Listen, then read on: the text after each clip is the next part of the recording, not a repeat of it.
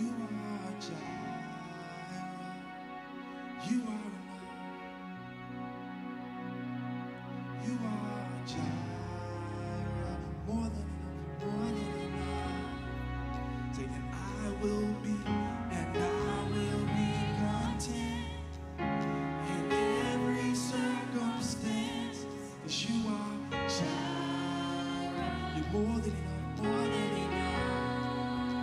Say, you are Jireh, You are Jireh, More than enough. More than enough. Say, you are Jireh.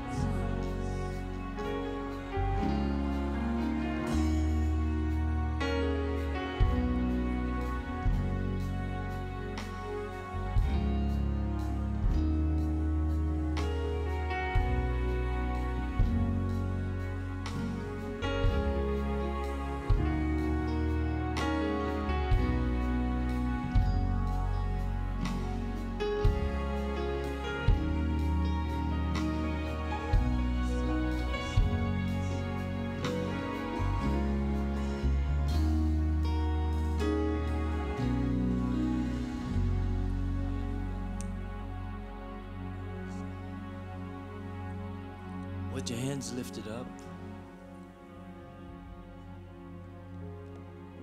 He is Jehovah Jireh, our provider, the source of all resource, the God that doesn't change. He's the same yesterday, today, and forevermore. The Apostle Paul said, I have learned in whatsoever state I am in, therewith to be content. I know how to abound, and I know how to be abased. But in whatsoever state I'm in, I've learned contentment. Contentment is found only in Him. So stretch your hands toward heaven this, this morning. Father, we, we come surrendered to you, not to a circumstance, but to the God of all circumstance, the one who holds our future, orders our steps, the one in whom we live and move and have our being, the one who has made us sons. Our eyes are upon you. Our heart is toward you. We thank you this morning that we can assemble to lift praises, to magnify your name, to make decrees, to legislate laws in the spirit realm. Thank you, Father, for your goodness and your mercy that follow us all the days of our life. We are yours. And we come to praise, to pray, to decree, to receive. Transform us this morning. Conform us to the image of Christ. Remove the very appearance of fear far from the hearts of your people. Stir up the gifts. Open eyes to see, ears that we may hear Holy Spirit. Cause all the chatter, all the disturbances to cease in Jesus' name. Regulate that troubled mind. I speak and decree peace to you. And we thank you this morning, Lord, that healing is the children's bread. Those in hospital beds, at home, quarantined, whatever the case, whatever the illness or sickness, Father, we release the healing anointing in Jesus' name. And we send it forth into those rooms to restore, to revive, to resurrect, to heal and deliver, to set captives free. We decree every yoke destroyed, every oppression broken, every enemy defeated, all darkness to flee. In the name of Jesus. For by his stripes we were healed. Chastisement of our peace was upon him. He was bruised for our iniquities. And this morning we thank you for the sacrifice. We are seated with him right now in that heavenly realm, far above, out of the reach of our adversary who is under our feet. This morning, Lord, be glorified. Receive honor, receive praise and thanksgiving. You who, who are seated on the throne, may you be magnified and glorified in Jesus' mighty name. All who are in agreement with you, give, give him a praise right now. Give him a mighty praise right now. Hallelujah. Hallelujah. Hallelujah. Hallelujah, Lord. Hallelujah. Come on, hallelujah. Hallelujah.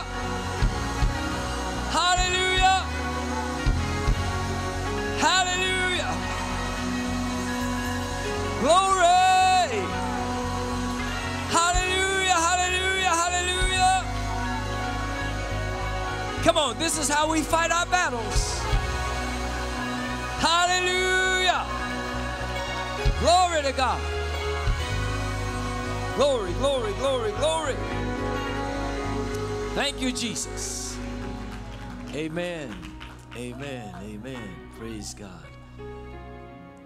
Is there anyone with us this morning for the very first time? Anyone visiting with us for the first? If you're here for the first time, raise a hand. We we just want to greet you on a personal level. If you're here for the first time, anyone? Well, I see a hand way in the back there. Amen. Let's greet our first time, first time guest. God bless you and welcome. Amen. Amen. She's a little shy, but she raised her hand anyway. God bless you. How about we greet our, our live stream audience, wherever you may be viewing this? We welcome you as well. Hallelujah. Thank you for tuning in. Amen. You may be seated.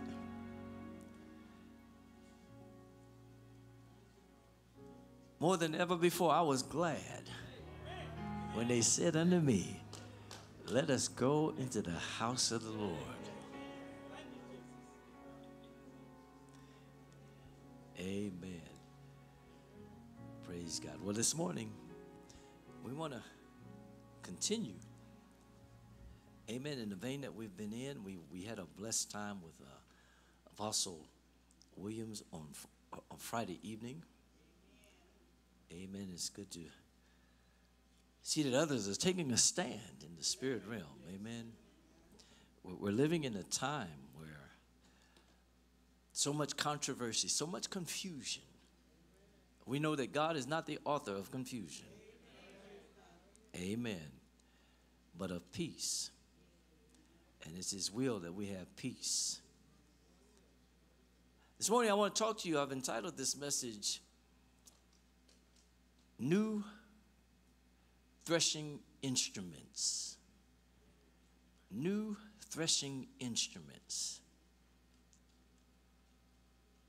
Praise God. Let me start with a number of statements first because this is definitely a time where we cannot allow fear to determine our agenda. Amen. amen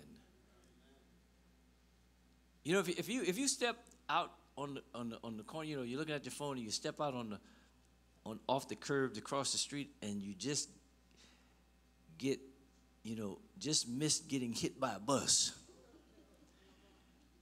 Does that mean you never gonna ride a bus again?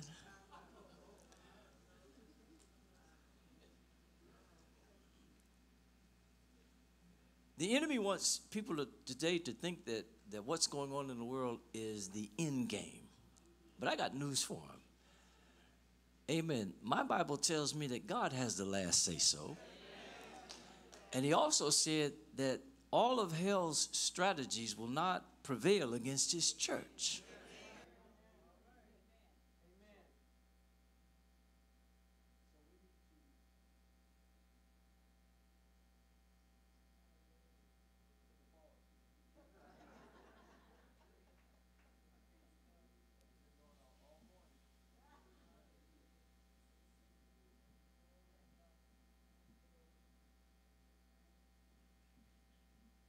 Just one, two. Yeah. Um, and when I, when I say all morning, from time we pull up in the parking lot, the enemy just wants to distract. So, so you know something's up. We're talking about new sharp threshing instruments. And I want to challenge some people, pastors, leaders, that are actually calling fear wisdom.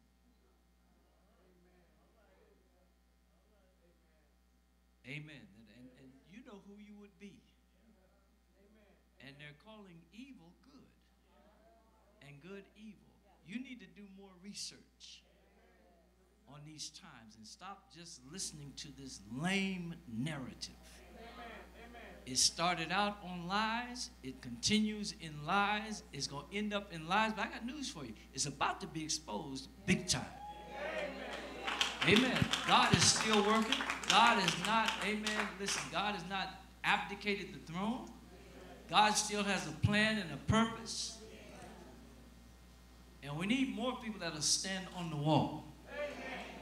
That'll cry loud and continue to spare not and stop hiding in caves. Amen. Stop running and hiding. Afraid of being censored. Politically want to be correct. And going with the narrative that is promoting darkness and evil. Where, where is your God? All right, all right. Amen. I'm persuaded that God says, I'm God and I change not. Praise God. I believe these this year and a half, almost two years, is to many has just worked a greater degree of perseverance. Amen. You've not yielded to certain narratives. Now, let me start by saying there's a conflict that will arise, sometimes even in the same household, among people who are ruled by their senses versus those that are not ruled by their senses. Amen. Let me say it again. There are many that are ruled merely by their senses, what they see, what they hear with the natural ear, what they smell or don't smell. And they're ruled, they're governed by that. If you'll get Numbers chapter 13, and starting at verse 27, Numbers 13, and we're going to get into from there into hopefully into Judges. But Numbers chapter 13, verse 27. The spies have gone in to search out the land that God promised. And they bring back a report. And they told him and said, We came unto the land whither thou sent us, and surely it flows, surely it flows with milk and honey. And this is the fruit of it. Now they were carrying the grapes. You remember the grapes that they carried? They, they had to have two men carry a cluster of grapes. They were so large grapes in clusters. It was a land that flowed with milk and honey and fruit. Next verse. Nevertheless, the people be strong that dwell in the land, and the cities are walled and very great. And moreover, we saw the children of Anak there. Now, notice something. They brought back the grapes, but it says, We saw. Nevertheless, we saw. The Amalekites dwell in the land of the south, and the Hittites and the Jebusites and the Amorites dwell in the mountains, and the Canaanites dwell by the sea and by the coast of Jordan. Okay? So we see here that 10 of the spies brought back a conflicting testimony. Theirs was a testimony. Amen. Joshua and Caleb had a testimony. Now, in spite of the fruit, the messengers couldn't get past the dangers they had seen.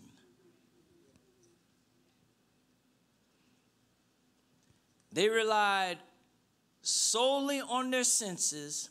And let me tell you something, especially in this hour in which we're in, if you rely solely on your senses, you are bound to fall into fear.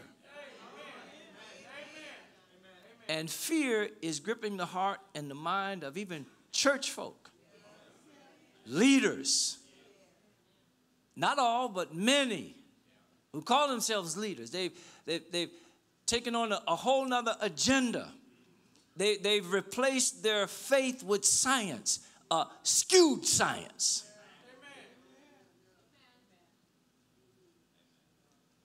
Joshua and Caleb saw the situation differently. In verse number 30 of that same chapter, chapter 13, verse number 30, through number 30, verse 32,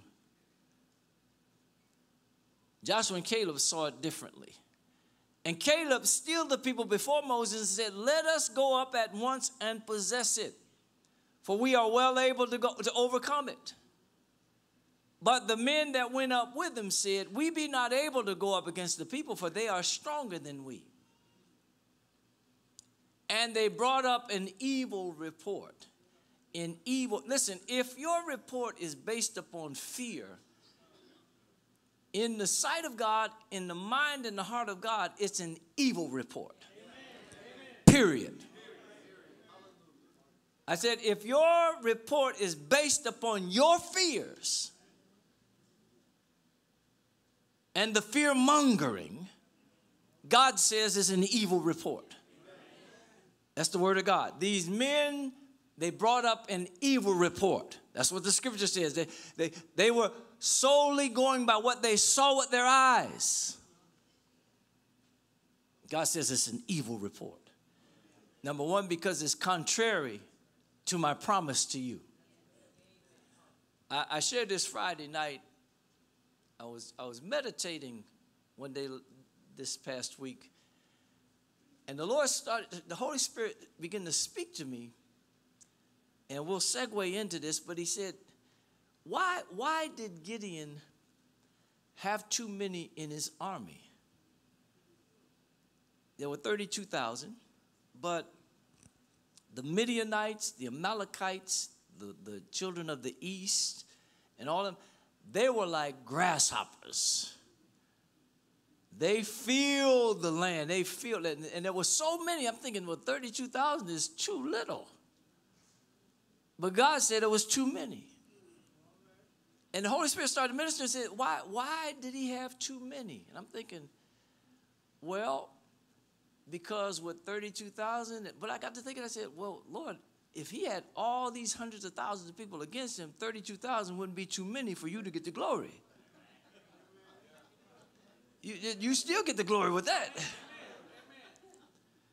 But Lord said, no, the reason he had too many is because there were too many that were afraid.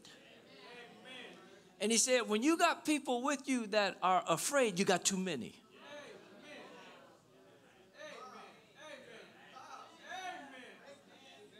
Amen. Tell somebody, no fear here. There were, there were too many that were afraid. And the first thing he said, he said, tell them if they're afraid, fearful, tell them to go home. 22,000. That's why God said, you got too many. You got more afraid than believing. That tips the scales. That opens up a frequency.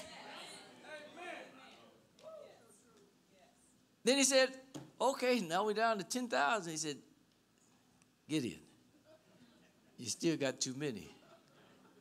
Lord, how could this be?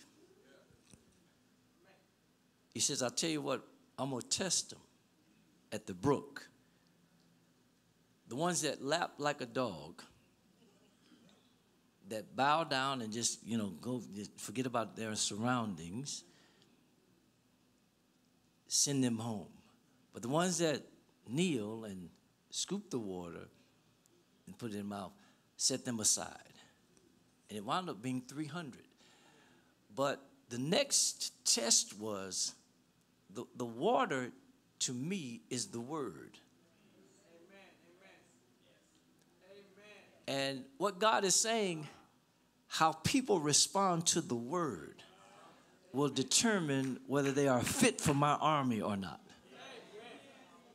Because if they don't respond to the word properly, if they get offended at the drop of a hat, if they doubt and fear and allow fear to, amen, drive them and block them and keep them from the things of God, then separate them from that, and I'll use the 300 that allow the word of God to saturate their heart, that believe the word of God, that will decree the word of God, that will stand on my word.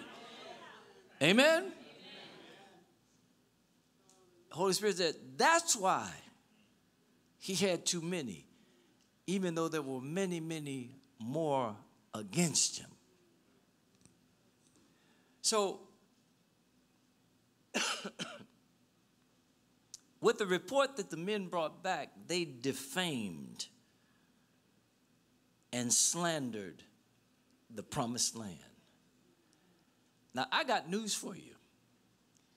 People don't tend to understand this, but when you do that, you upset God. You see, people think that everything's full of choices now. No, God has commanded us. Well, if I do, I do. If I don't, I don't. No, no, you complacent. You you out of the race. God has placed a command on us. He told Joshua, Have not I commanded you to be strong? Have not I commanded you? We don't have a choice. Paul said, Paul said, uh, uh, listen, if, if I preach, then there's a blessing for me. If I, if I preach not, there's a, there's a commission put on my life. Woe is unto me if I preach not the gospel. But you have people that are consistently compromising and backing off because they are being ruled by sense.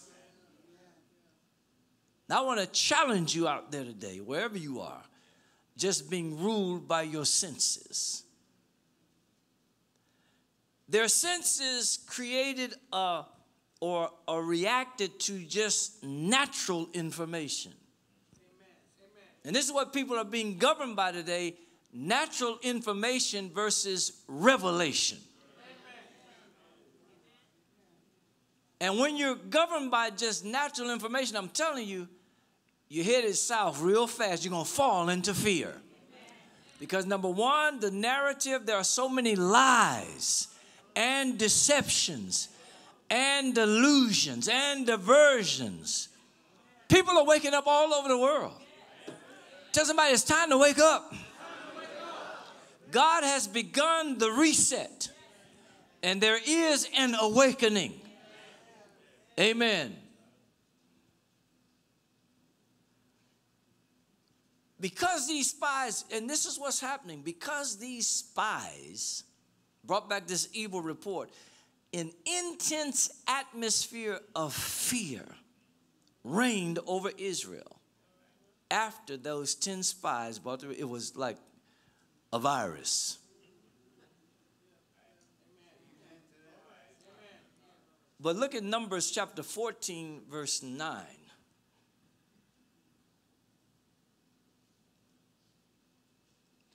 Numbers chapter 14, verse 9, and then we're going to look at num- Numbers 14, verse 32. Joshua and Caleb said, Only rebel ye not against the Lord, neither fear ye the people of the land, for they are bread for us. Their defense is departed from them, and the Lord is with us, fear them not. I want to tell you this morning all this witchcraft, all this done in the dark, all this evil, listen, there's coming a time God's going to pull the cover on it. As they said, as they said about, about the, the, the enemy that they were facing, that, that their defense was gone. See, when the devil can't operate in the dark, he can't operate in the light. I'm telling you, light is coming. Light is coming. It's going to expose a lot of things. But I just pray a whole lot of people don't wake up too late.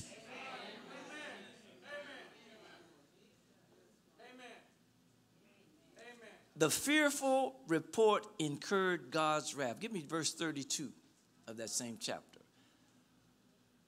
The Lord said this about the spies with the evil report. But as for you, he said that your children are going to be wandering in the wilderness. But he said, as for you, your carcasses are going to fall in the wilderness. Job said it this way That which I greatly feared has come upon me.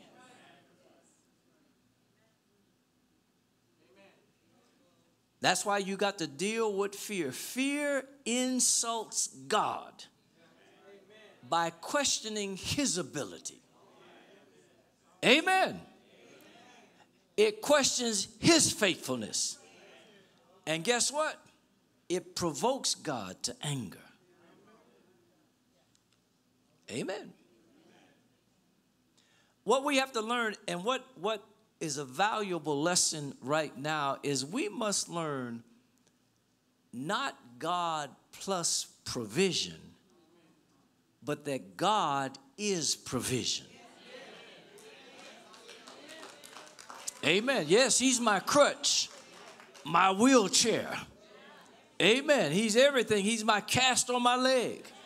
Amen. He's, he's everything that we need. God is. We need to consult Him, get direction from the Lord as to which direction to take. He will give us revelation versus information. All information is not wrong, but there's a whole lot of skewed information. And it's caused and provoked fear. God's opening eyes, though. I'm telling you, time is coming there's going to be some shifting done. Ask the person beside you, do you think you need more than God? More than His Word? More than what He says? See, a lot of people right now, even in the body of Christ, they not they, they need God plus they need their senses satisfied.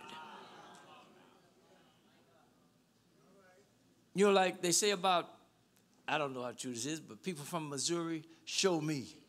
The show me state. Show me. Go with me to, to Judges chapter 6.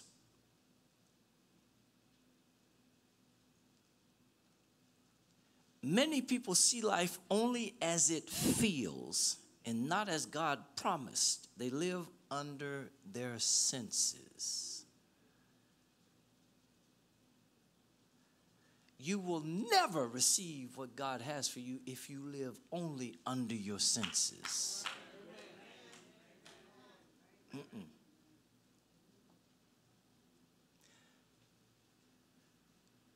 Let me say this to you refuse to allow your senses to impair you.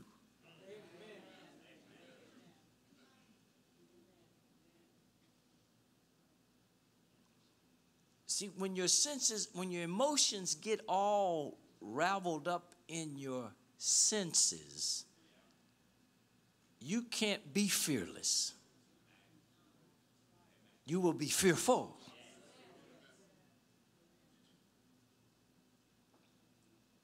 Only God can make us fearless. So, where did I say go? Judges chapter 6. Let's start here, and I want to talk about Gideon. This is whom God laid in my heart concerning this message on a new, new sharp threshing instruments. I, I will go as far as to say to you, especially you that you know in your heart you have been faithful to God. Maybe not perfect, had your days where you had to battle, you know, felt like you wanted to give up, but you hadn't given up. You know, you're still trusting God. You, you, you haven't yielded to the agenda. You're still trusting God, still believing God.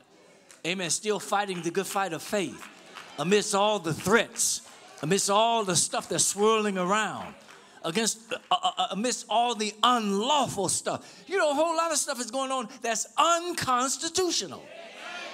It's unlawful. The, the, the whole rule of law is trying to be broken down. That's why the people have to stand up. You can't just get one person, no, tell somebody, you got to stand up.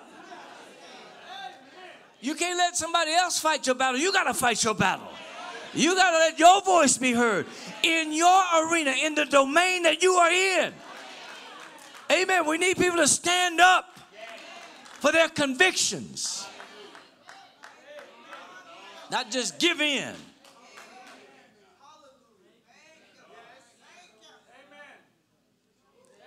I, am I'm going to throw this statistic out. Many people don't know this, but you know, 40% of the people in hospitals right now with COVID are people that are fully jabbed or vaccinated. 40%. What's up with that? I thought that was supposed to help. Y'all pray for me.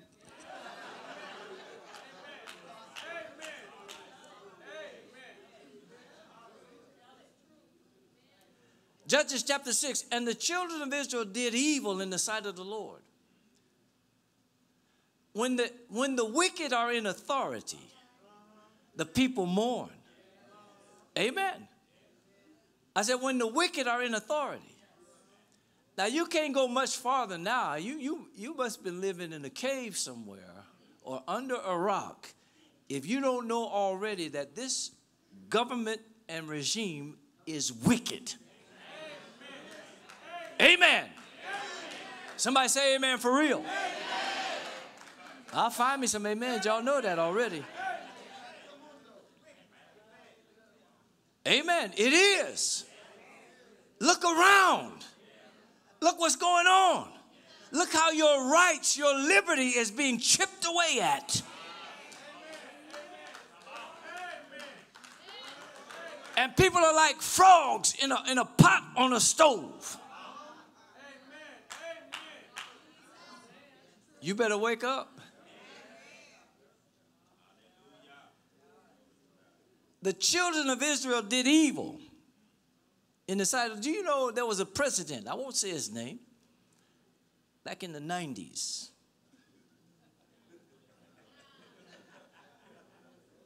Who was caught red handed in adultery, but lied to the public.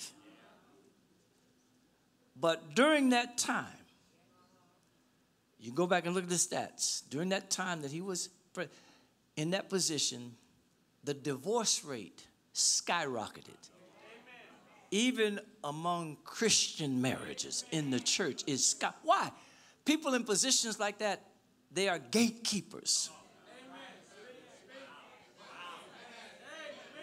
When the righteous are in authority, the people rejoice. When the wicked are in authority, the people mourn. Why? Because they're opening the gates, the floodgates of hell. But thank God, God said the gates of hell, even though they flood into the earth, the gates of hell won't prevail against my church. My church is founded upon a rock, the revelation of Jesus Christ, the way, the truth, and the life. Under heaven, there's no other name given whereby we must be saved. Amen.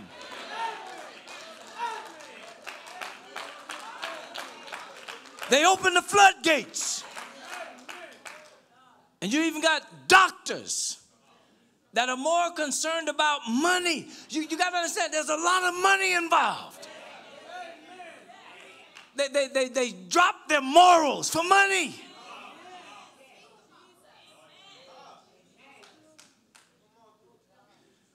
I heard just the other day, and it's a clip you can you can Google it and find on YouTube.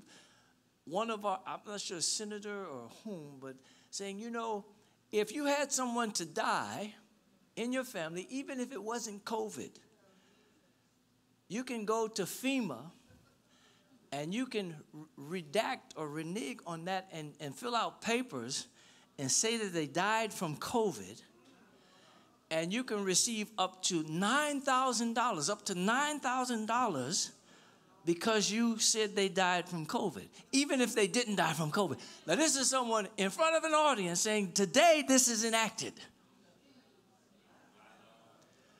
What kind of crazy is this? We ought to, we ought to get, get, get, get on the mountaintop, just get on the corner and say, Wake up! But see, it's about money and the pharmaceuticals.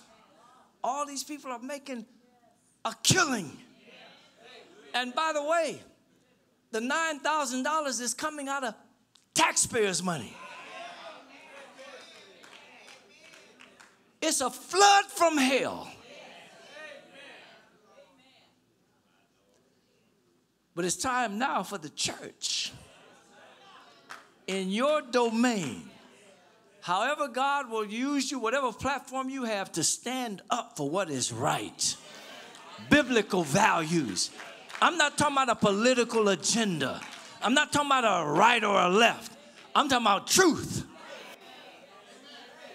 We wrestle not flesh and blood, powers and principalities, rulers of the darkness, wickedness in high places. Evil was on Israel, and God delivered them into the hand of the Midianites, into the hand of, the, of Midian, for seven years. Why? Because they did evil. Sin is a reproach to any nation, any people. Sin is a reproach. Just read the paper, watch the news. You can't watch all of it because it's messed up, it's skewed, it's an agenda, it's lies. But the truth of the matter, there's a whole lot of wickedness going on that have opened portals of wickedness to flow into the land. But God said, if my people, didn't he say that? He said, he said, yeah, it- it- yeah, there's a flood. Yeah, get in. You got 32,000 against 150,000. But if my people would get rid of fear, turn from their wicked ways, amen, call on my name, amen, repent of their sins, they would hear from heaven, I'd heal the land. We still got an ace in the hole here. Tell somebody it ain't over. We, we fight the good fight of faith. God, God says if there's one that will stand, if there's one in the city, Abraham, if you had 50, if you had 40, if you had 30, if you had 20, if you had 10, I'll spare the city. Tell somebody we ain't giving up. We ain't going out like this. We're going to stand, and God stands with us. Give him a shout of praise if you believe that. Hallelujah.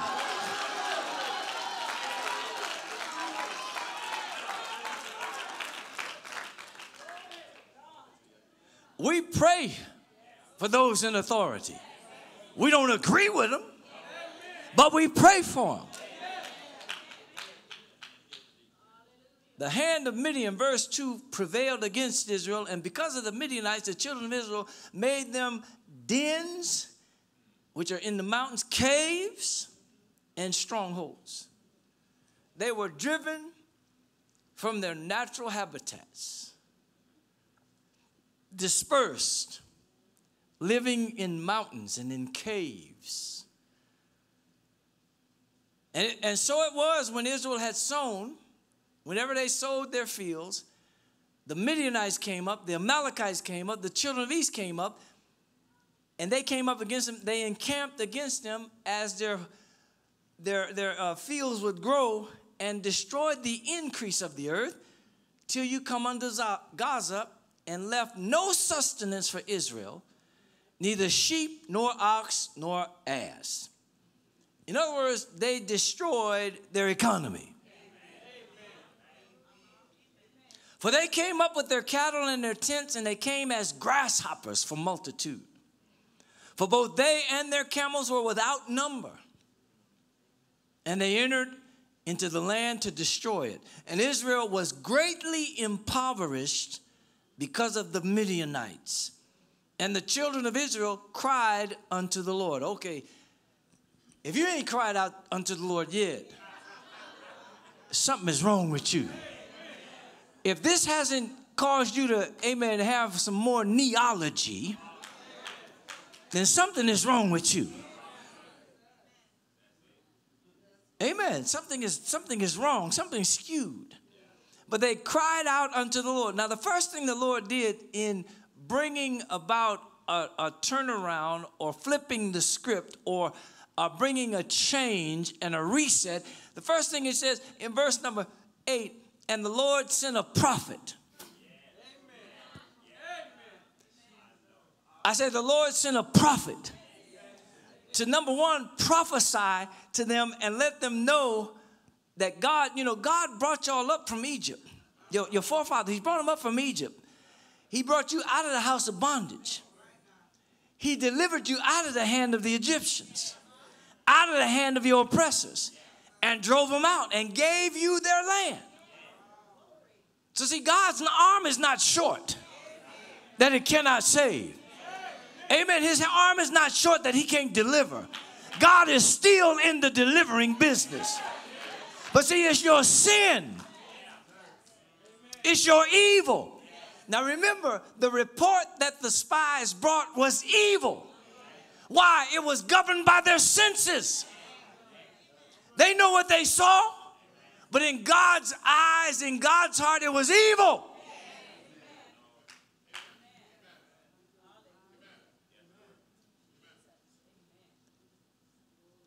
Verse 10 says, And I said unto you, I am the Lord your God. Fear not the gods of the Amorites, in whose land you dwell, but you have not obeyed my voice.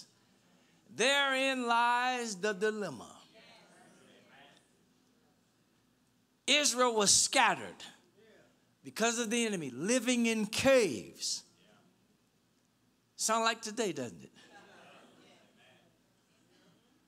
I understand. Listen, I understand this thing first come out. It was, it was to me. And this is just my opinion. I'm, I'm, I'm free to give my opinion.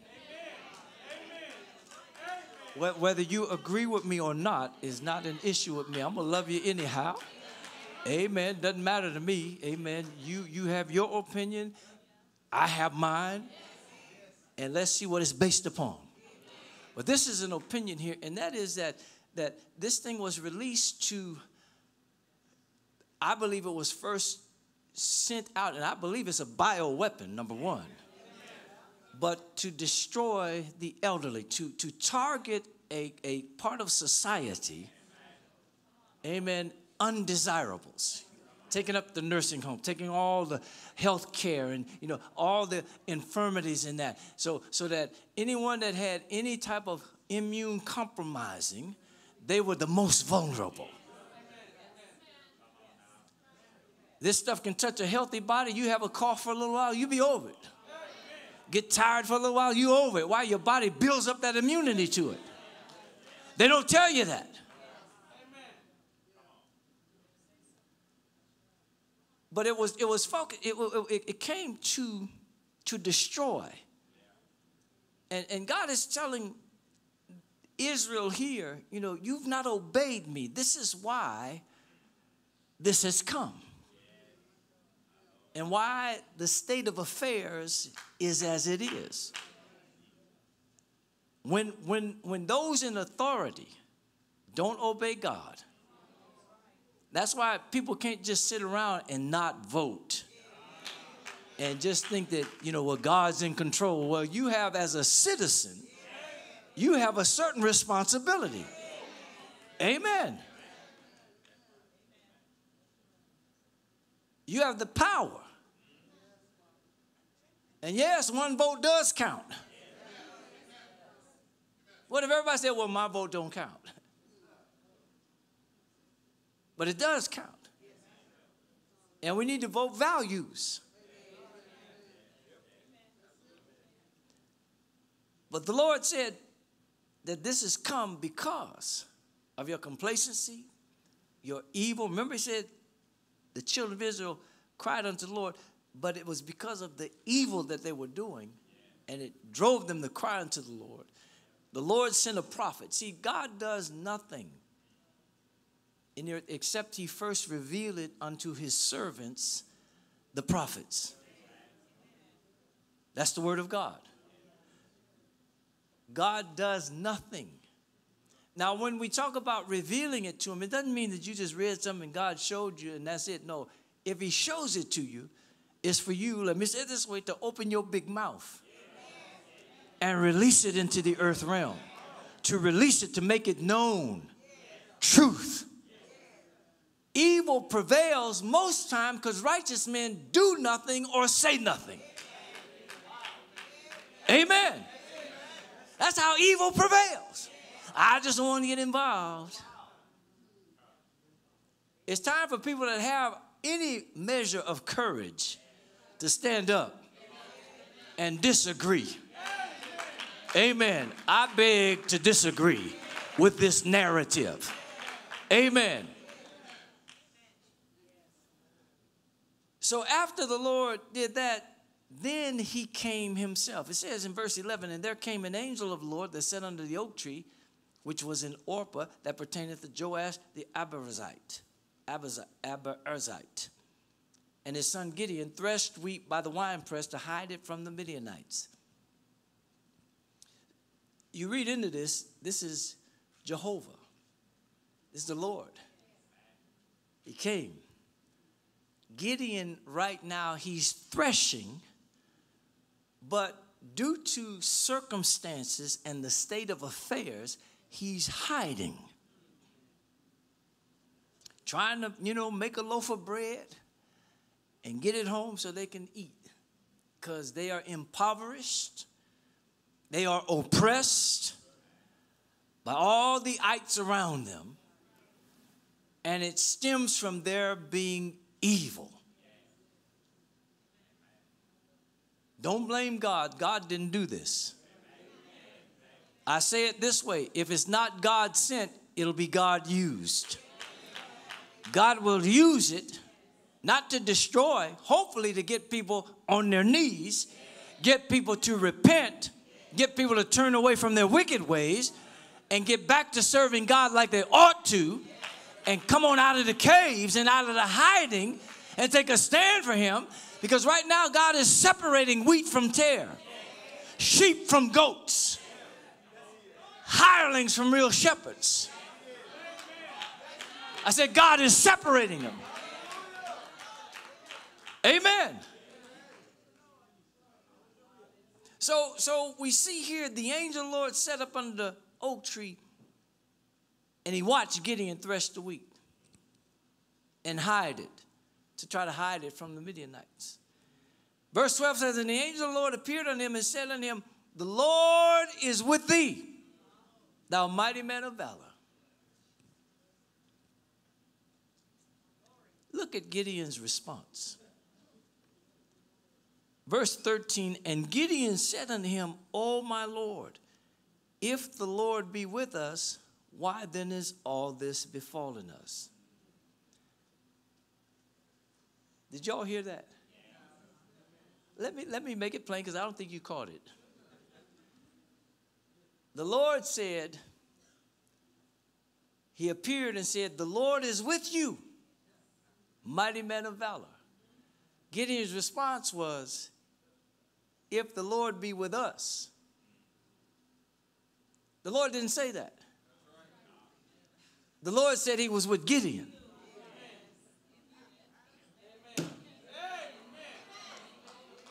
See, Gideon's trying to bring the Lord into the whole pot of things. Why? Because he's living in fear. He's bound and oppressed. But the angel is here about to, about to start another work, about to, about to shift some stuff. And he's up under the tree and he says, Blessed, uh, let me, let me paraphrase. Bless thou mighty man of valor. The Lord is with you. Gideon says, how, how can these things be? How can the Lord be with us? He didn't say that. He said, Tell somebody he's with you. Come on, you got to conquer in your own domain. Remember, Gideon had too many in his army because too many were fearful. If you don't know the Lord is with you, you will be fearful. But if you know that God is with you, that God will keep you, that God will direct your steps, that God will bless you, that God will favor you, that God will protect you. Why? Because He is your source, He is your provision, He is your God. You trust Him, in Him you live and move and have your being. Your mind, your heart, your soul belongs to Him.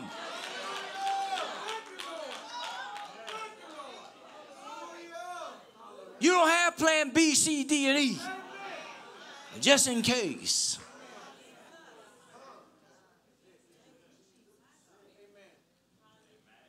Gideon said, Oh, my Lord, if the Lord be with us, why then is all this fallen? And where be all the miracles which our fathers told us of, saying, Did the Lord not bring us up out of Egypt? but now the Lord has forsaken us and delivered us into the hands of the Midianites. And the Lord looked upon him and said, Go in this thy might.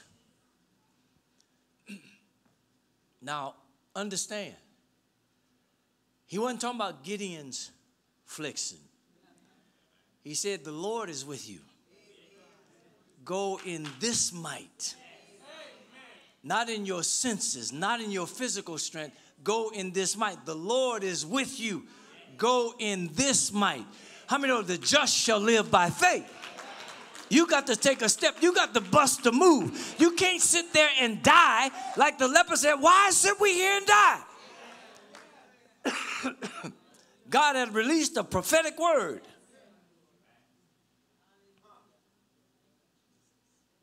The prophet prophesied. They got up and moved, and God was with them.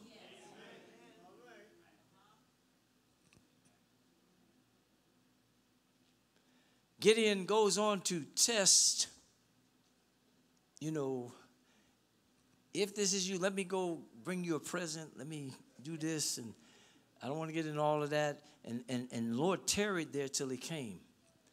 And he, he brought a kid, unleavened cakes. And the angel of God said unto him, Take the flesh and the unleavened cakes and lay them upon this rock and pour out the broth. And he did so. Then the angel of the Lord put forth the end of the staff that was in his hand and touched the flesh and the unleavened cakes. And there rose up fire out of the rock and consumed the flesh and the unleavened cake. Then the angel of the Lord departed out of his sight. And when Gideon perceived that he was an angel of the Lord, Gideon said, Alas, O Lord God, for because I have seen an angel of the Lord face to face. What Gideon was saying, I'm going to die now.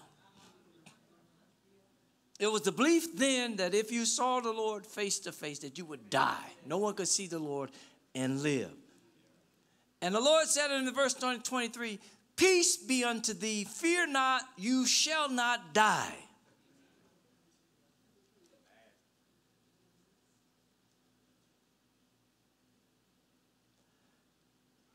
The first thing Gideon did after offering the present to the Lord, he built an altar unto the Lord. The Lord, and, and I don't want to get into all of the details. You read as you go on, but I want you to see that he started out threshing wheat, but he was hiding. Threshing just a small portion of wheat, hiding it from the Midianites. Under the oppression of the Midianites and all the other nations that were distressing them, he was hiding, threshing wheat, hiding, threshing a little wheat just to feed his family. And God comes to him, and I'm just going to paraphrase the whole story up until he chooses the army. He he went through all these things, you know, the fleece. You know, if if this is true, Lord, then I'm gonna put a fleece out. And you know, in the morning, let the fleece be wet, let it be dry around the fleece. And, and that happened. That was the second time. But the first time, he said, I will put the fleece out, let it be wet around the fleece, and the fleece dry. And so the fleece was dry. And he said, Okay, Lord, if this is you for real, I'm going to put the fleece out again. Now let the fleece be wet and the ground dry. Now, God went way out of the way. But see, he had chosen Gideon. I'm here to tell you this morning, God's still trying to persuade you, trying to convince you that he's on your side that he's not against you, he's for you. When Joshua stood at the wall of Jericho, he faced the same angel of the Lord. And the angel of the Lord had his sword drawn. And Joshua approached him and asked him the question Are you for us or our adversaries? And the angel of the Lord, the Lord said, I'm not for you. We got to get this. He's not for us or against us. Tell somebody, to get with his program. Again, Joshua was a military leader that knew warfare. But what God had planned was different from what he knew. Joshua knew God from times past and being with Moses, you know, in Mount Horeb and through the wilderness. But at the wall of Jericho, God was getting ready to flip the script and do something different. I'm here to tell you, God's got something in store. Yes, He does. I said, the Lord has something in store that's going to blow the mind of a whole lot of people. A lot of it is going to happen suddenly. Tell somebody, God ain't finished yet. It ain't over yet. The next chapter is about to start. Come on, and our time, listen, the best wine is preserved for last. He reserved the best for last. Get ready for the best. I know it may be hard to fathom that right now because there's so much oppression out there. But God said, I'm going to prepare your table even in the presence. That's why you can't live by your senses. You can't live by how you feel. You can't live by what people are saying. Live by the Holy Ghost. Get down and get some kneeology under your belt. Get in the walk with God to where you can hear the Holy Ghost. God can talk to you. God can comfort you. He can instruct you. He can guide you. He can govern you. Get in there in that place of insulation, that secret chamber. Watch how God will protect you wherever you go. In the midst of all the pandemonium, the pandemic, the panic, God said, I'll build my church. I'm building my church. Come on, somebody say, I'm, He's building His church. Say it again, He's building His church.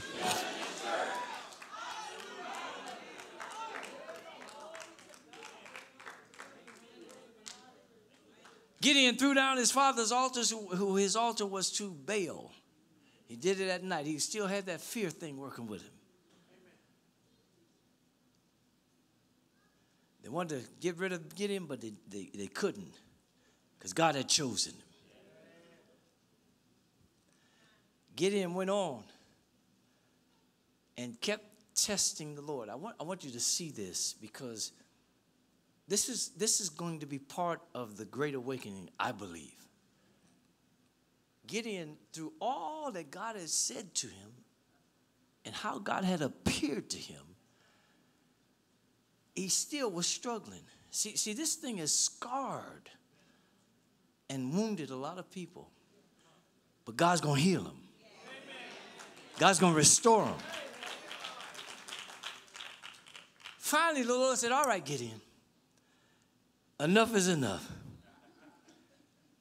Going down to the enemy's camp. And listen in on what the enemy is saying. And if you're still scared, take your armor bearer. So he grabbed his armor bearer. They went down to the camp. And as they were there, one of the Midianites was sharing a dream. He said, I saw a huge barley loaf roll over into the camp of Midian and crushing and doing all this. And the other one interpreted it and said, That's nothing but the sword of Gideon.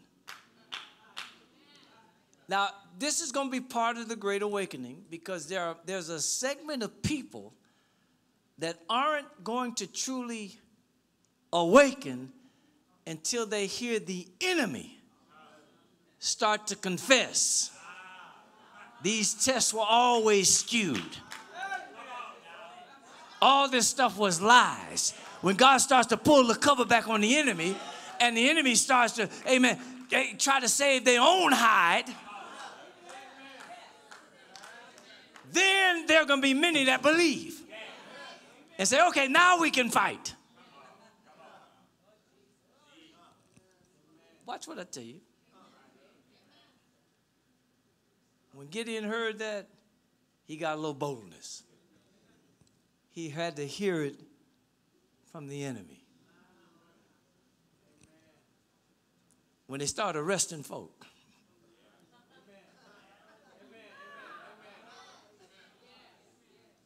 You know, I thought it was something strange and weird about that little mouse guy. I really didn't believe it from the beginning.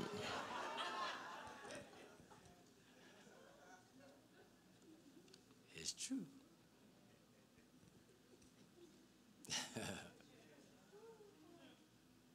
Tell somebody, angels, and the Lord are with you in this battle.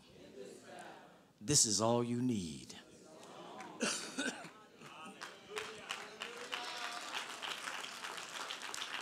Let me tell you something.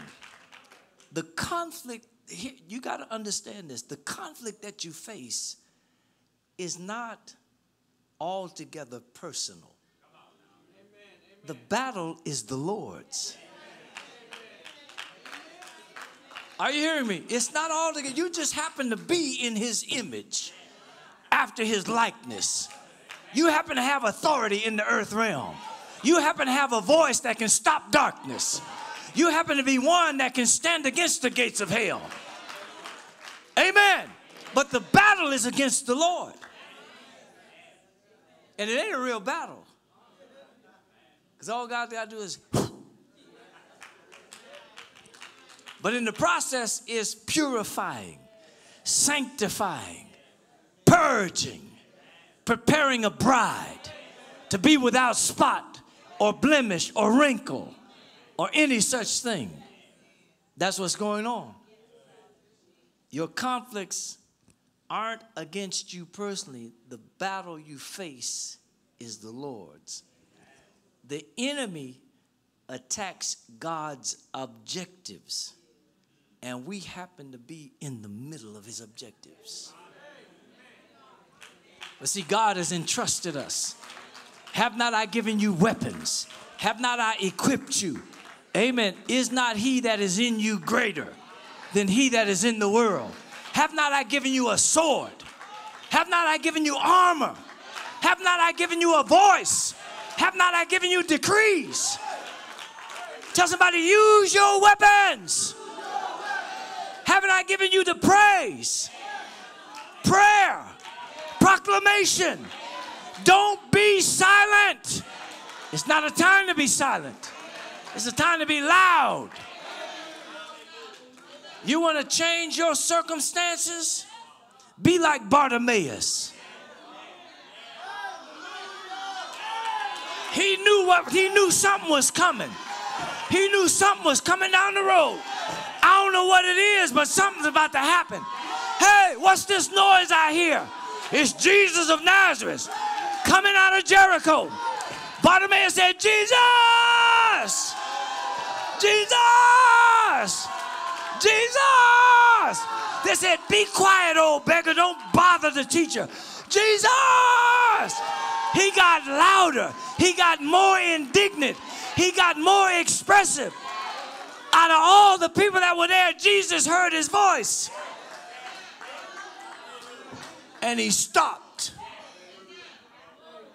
You, you got to understand something there. You've heard me talk about this before the technology.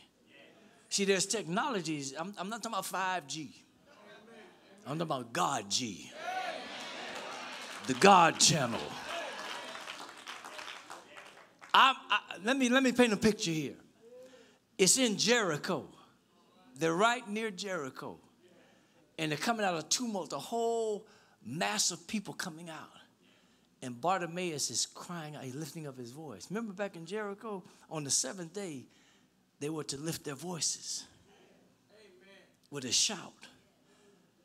And what happened? Angels came. I believe as Jesus was walking and he heard Bartimaeus, he also witnessed the angels. Because, see, that was Jericho. Some walls had to come down. The Jericho walls were already down. I've seen those walls. If they are the walls, they are underground. About two, um, a story or so down, you go up on this mountain. I don't know if they still have that display, but you look down and these are ancient walls. They weren't, they didn't come tumbling down, they were pushed down. Bartimaeus was crying out to God, lifting up his voice. And I believe Jesus stopped and said, Bring him to me because he knew that something was moving in the spirit realm toward Bartimaeus' faith. You remember, Bartimaeus wouldn't listen to what people were saying. They were saying, Be quiet. He, he got louder. They were saying, Shut up. No doubt they probably pushed him over and stuff, uh, but he got louder anyway, hollering Jesus' name. So, so that frequency that was there, he touched that technology. Jesus said, Bring him to me. And the moment Bartimaeus got up, now remember, blind people wore certain colored garments so that you knew they were blind. But the moment he stood, read the story. The moment he got up, that Jesus called him, he began to take off his coat. If you want change, you got to refuse to be silent. And you got to take that step of faith, take off that old garment, that old you, that limited you, that fearful you, that you that's living in that cave, that you that is, amen, amen, living far beneath your privileges, that you that have turned your mind and eyes away from God, that you that have been governed by your senses, take that coat off. Tell somebody, take that coat off right now. He took it off as he was going to Jesus. He threw that coat off. Jesus said, What would you have me to do? That I might receive my sight. Faith was already there. Amen. God said, Receive it. Right away, he could see. Ah, I wish I had somebody that had some faith in here. You better cast off that darkness. You better cast off that limitation. You better cast off that fear and forget about what people are saying. How people are trying to silence you, threatening you, amen, persecuting you. Blessed are ye when men shall revile you and speak all manner of evil against you falsely. For my name's sake, rejoice and be exceedingly glad. For great is your reward in heaven. For so persecuted they the prophets that were before you. That's the word of God. God will stand with you and fight for you. Amen.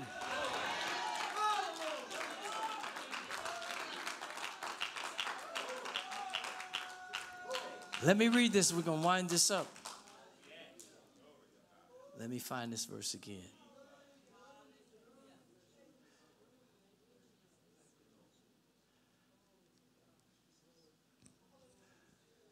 Mm, let me find it here quickly.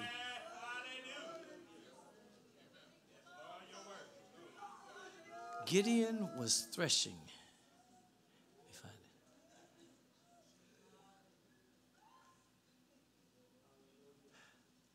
Oh, where did it?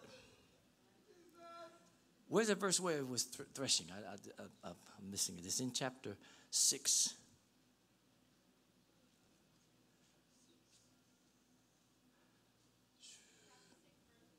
Eleven, thank you.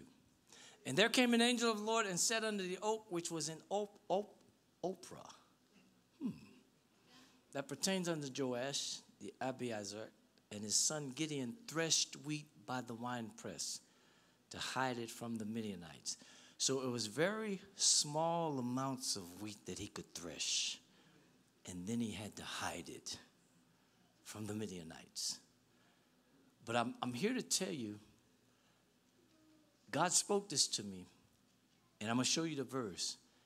He's about to make you and I and his church a new, sharp, threshing instrument. Let me, let me show you where it's at. Give me Isaiah chapter 41.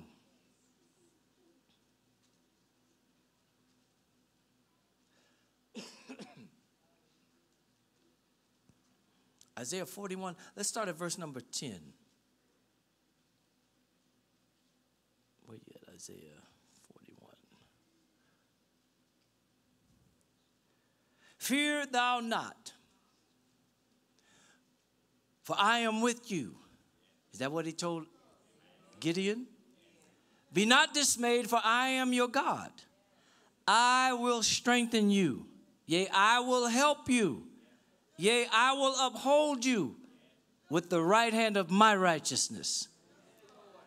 Behold, all they, in Gideon's case, it was the Midianites, all they that were incensed against you shall be ashamed and confounded. They shall be as nothing, and they that strive with you shall perish. God has already sealed the doom and the sentence. You shall seek them and shall not find them, even them that contended with you. They that war against you shall be as nothing and as a thing of naught. For I, the Lord thy God, will hold your right hand, saying unto you, Fear not, I will help you.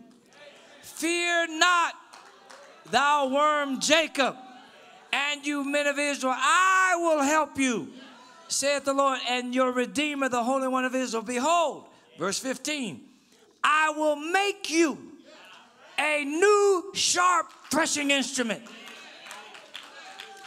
having teeth.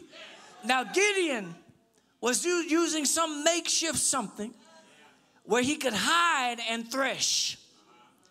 God says, I'm getting ready to, amen, all this that you have persevered through.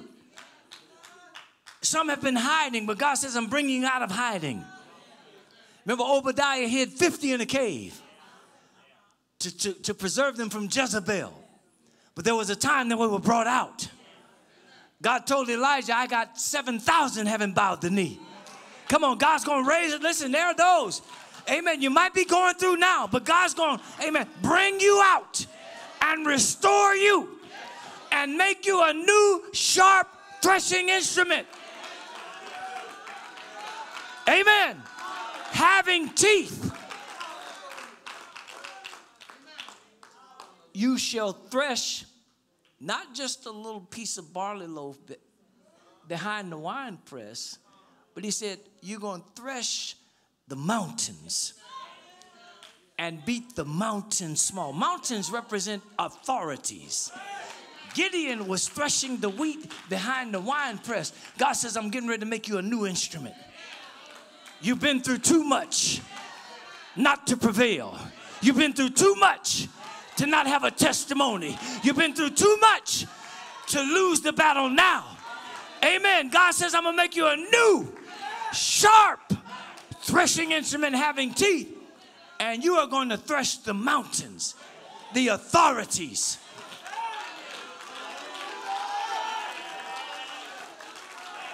And beat them small. And the wind gonna blow them away like a chaff. The gates of hell shall not prevail against my church. How many believe that this morning? How many receive that this morning?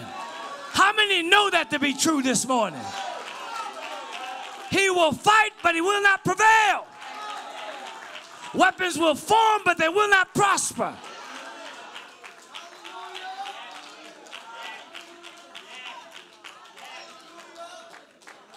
Says, And you shall rejoice in verse 16 in the Lord and shall glory in the Holy One of Israel. He said in verse 15, Behold, I will make you a new sharp threshing instrument having teeth. Now, I always lead you, you've heard this verse before, but go and look at the Hebrew word for teeth. The word is mouths. I'm going to make you a new sharp threshing instrument having mouths. This is the decade of Pey, the mouth. That's why I say to you all the time, no one get offended. Open your big mouth and let the word of God come out. That's the threshing instrument. This is how we fight our battles. We don't fuss and fight and cuss and make argument. No, we speak the word of God. We decree what thus saith the Lord. We prophesy. We call forth those things that are not as though they were. And that's the threshing instrument. It pushes back darkness. It threshes the mountains, beats them small, pushes back the evil, creates an environment, a reality where God lives, where the kingdom comes, where the kingdom governs you. A thousand fall there, 10,000 fall there, but it can't come nigh here. Why? Because you're a threshing instrument having teeth. You are beating the mountain small. We're not hiding in the cave. We're beating the mountain small. God is on our side. God is fighting our battle. God is in us. Greater is He that is in me than He that is in the world. Let the river flow. Let the river flow. I say, let the river flow. He that believes on me, as the scripture has said, out of his belly, out of his belly, I say, out of his belly, where the kingdom is, out of his belly shall flow, not trickle, not drip, but flow. Rivers of living water. Everywhere that river touches, life comes out. Everywhere that river flows, life and fruitfulness, abundance. Tell somebody right now, let the river flow. Tell somebody else, let the river flow. One more time, tell somebody, let the river flow.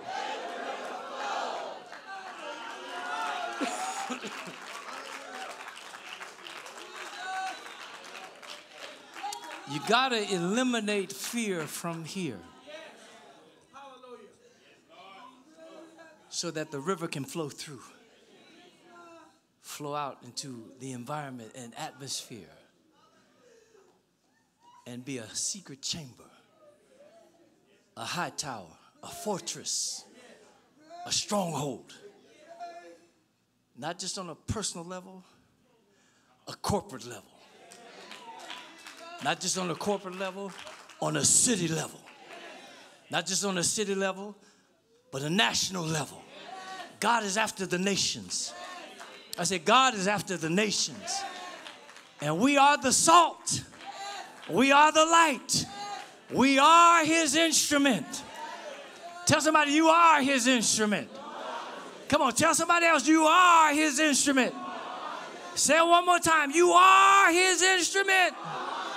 Now give him a mighty praise. Come on, give him a mighty praise.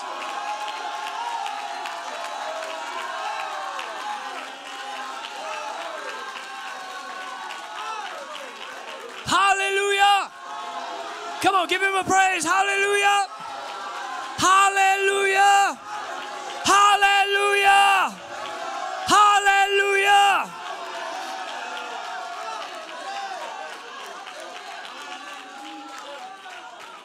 God says, when you are that new sharp threshing instrument,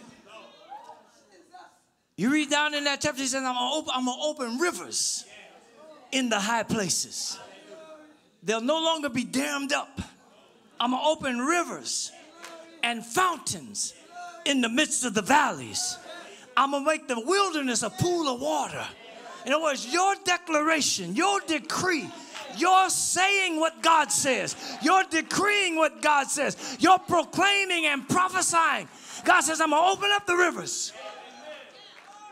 I'm gonna plant in the wilderness trees, cedars, myrtles, shittah, oil trees, box trees, fertile trees, pine trees, that you may know and see and consider and understand that the hand of the Lord has done this, and the Holy One of Israel has created it.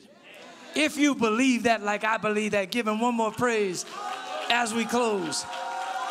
Come on, give him a real praise. Give him real praise. Hallelujah. Hallelujah. Hallelujah.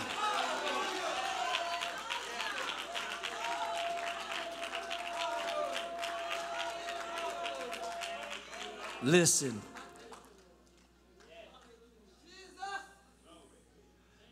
Conflict will arise among men who are ruled by their senses versus those who are not ruled by their senses. Love everybody. Stand for truth. If you're a preacher, don't preach to come back. Don't preach to offend, but don't preach to please either. Preach what God give you. The world needs truth. It's truth that's going to make people free. Nothing but truth. The portion of truth that you have, give it. He that waters shall be watered himself. God says, I place my word in your mouth. I put you under the shadow of my hand to plant the heavens and establish the earth. We are his instruments. I want you to stand to your feet for a moment if you can and raise your hands to him as we raise our hands coming in here because we surrender to him. We are his. He is ours. He is our portion. Father, grace us to honor you in this hour, to stand on truth, to be full of courage, to continue to walk in love, and yet be bold like lions.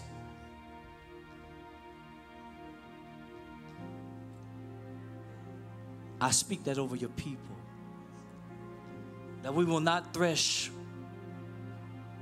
in a cave, but we will thresh the mountains. Because it is you in us. The battle is yours, and we are your instruments.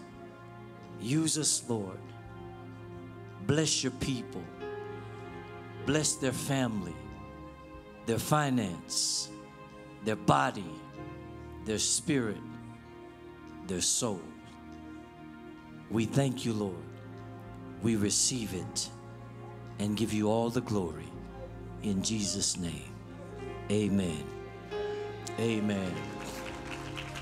Amen. Amen. Amen. Amen. Amen. Praise God. Amen. Glory to God. Be seated for a moment. Seated for a moment.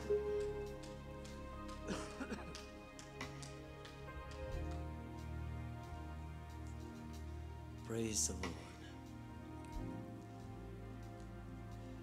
You know the protocols in the house.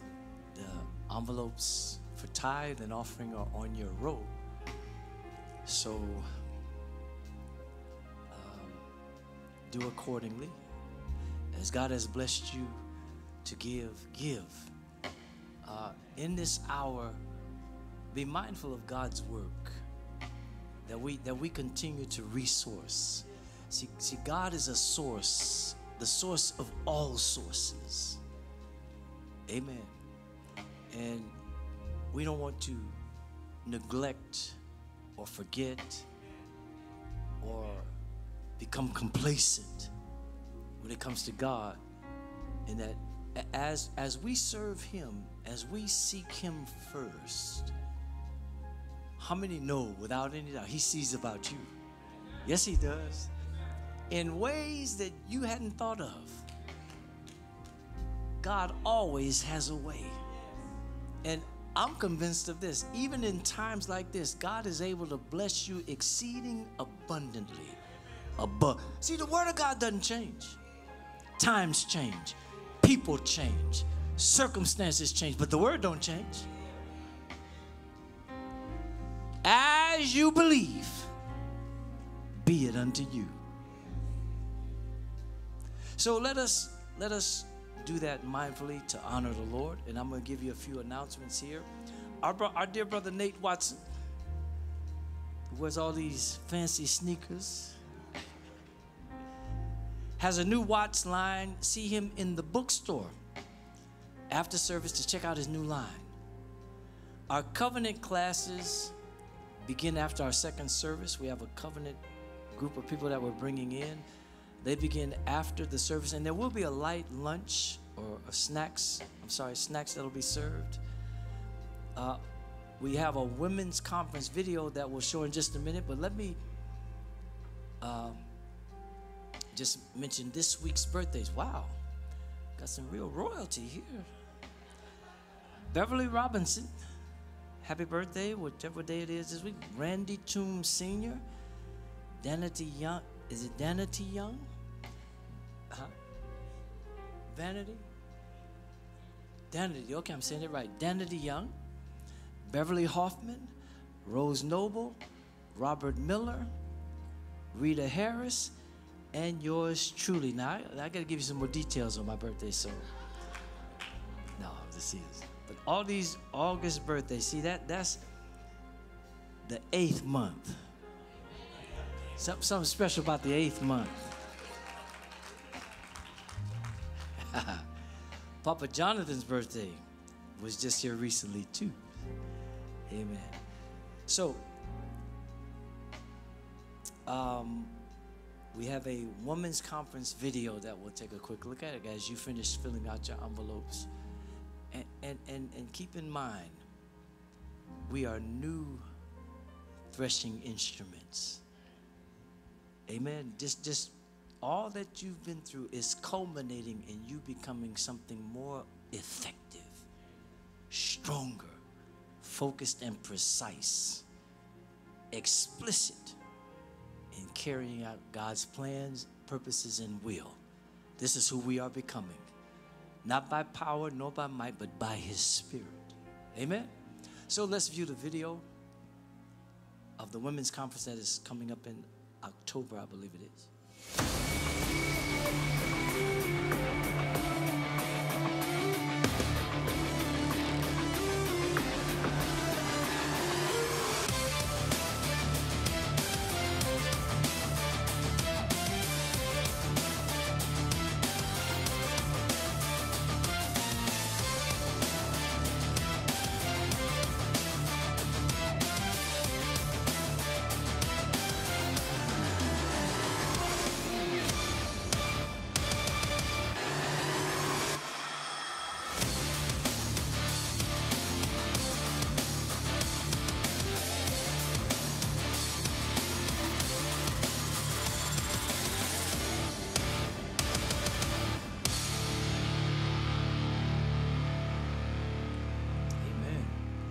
True value of a woman. Bound to be a wonderful time in the presence of the Lord, and it's all the information there. So be sure you register and be a part of it. I know Pastor Martha is helping to is is one of a few that are heading it up in our region here. She's been very instrumental in uh, getting things prepared in that. So be sure you register and be a part of that, all you ladies. Amen. Okay, so without any further ado, if you're if you're ready to give, let's stand to our feet. I'm gonna dismiss you, but we're gonna pray over what we give. And I've boiled down my desire in giving to one thing, and you've heard me say it time and again, is that the Lord will receive honor. Not what's left, not a bone, but honor. Whatever it is that we give, to whatever extent we give it, however we give it, whatever attitude we have in giving it, that God, that our Lord will receive honor. Amen. So, Father, we ask as we give from what you have prospered us in, as we give a portion, we first of all thank you. You are our source. And we give with a cheerful heart, with a willing mind, a willing heart, a thankful heart. And Lord, I believe all will agree with me. Our prayer is that you receive honor. If from nowhere else, from this house, from these your children. And we thank you in Jesus' name. Amen. Amen. God bless you. Give as the Lord has prospered you. Buckets up front and in the back. Go in peace. so patiently, and you